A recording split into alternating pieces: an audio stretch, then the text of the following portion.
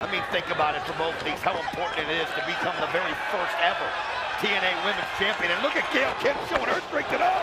She sends her back down.